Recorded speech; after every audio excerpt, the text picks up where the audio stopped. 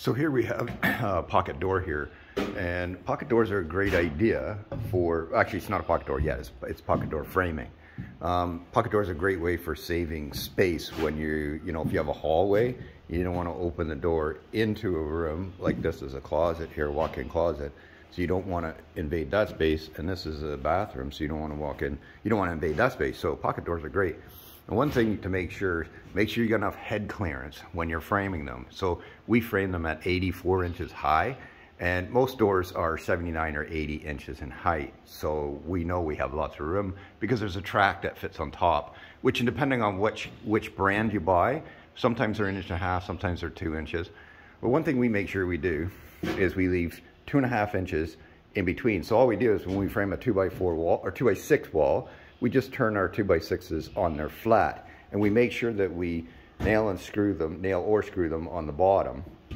If it's a structural wall, which typically a, a wall that has uh, a pocket door in it isn't normally structural, um, unless, well, you'd have to have the header up there and you'd have to have the studs turned the other way. One thing that I always recommend, make sure that you put a temporary blocking in and screw it in so it's easy to pull it back out. And the reason why I say that is because until your drywall goes on those studs, as they're drying out, because when they come from the lumber yard, they're pretty high in moisture content because uh, they're typically sitting outside.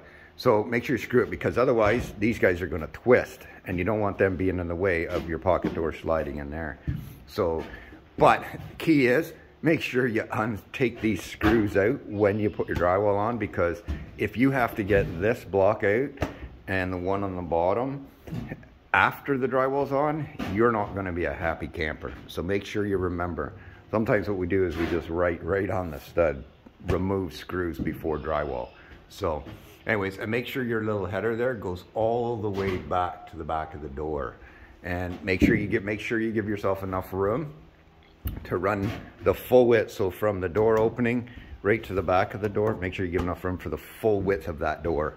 Um, and don't forget, you will have, you'll have a, a, jamb on here as well. So you might have a three quarter or an inch and a half jamb on there. So you've got that space to work with too. So anyways, that's the main thing I would say is make sure you screw a block in there to keep those from twisting until the drywall goes on.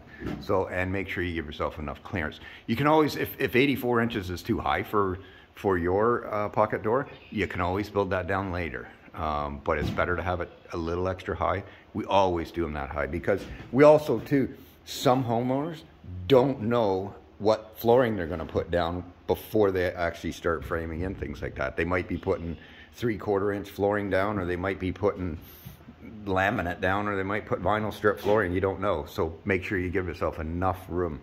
Um, it's okay to have a little bit of extra space at the bottom there uh, that's airflow. Anyways, until next time, happy framing. Have fun with renovations.